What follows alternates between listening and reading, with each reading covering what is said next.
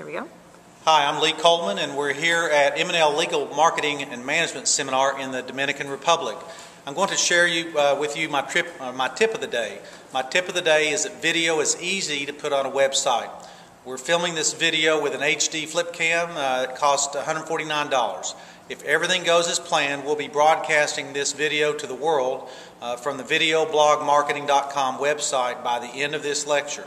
My tip of the day is that video is easy to put on the web and you can do it yourself. Check out this video at videoblogmarketing.com today. Thank you for watching. Yay!